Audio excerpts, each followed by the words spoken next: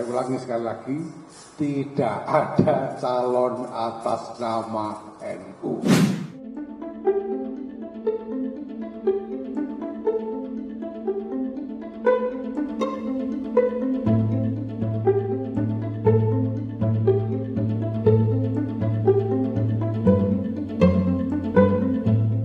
Pertama ya, ya kami hanya bisa mengucapkan selamat sudah dapat jodoh gitu ya nggak jomblo lagi. Nah, kemudian kalau soal sikap sudah saya sebutkan berulang kali, saya bisa tegaskan sekali lagi di sini bahwa tidak ada calon atas nama NU.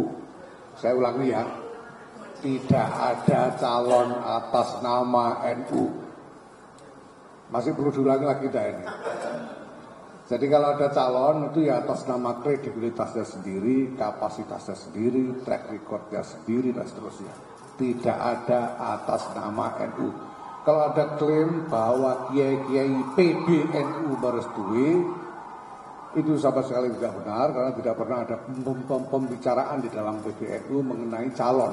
Sama sekali, selama ini sama sekali tidak pernah ada pembicaraan di PBNU tentang calon-calon presiden. Karena itu di luar domain kami sebagai organisasi keagamaan kemasyarakatan.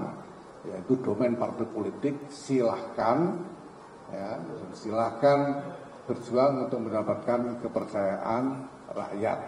Tapi saya ulangi sekali lagi tidak ada calon atas nama NU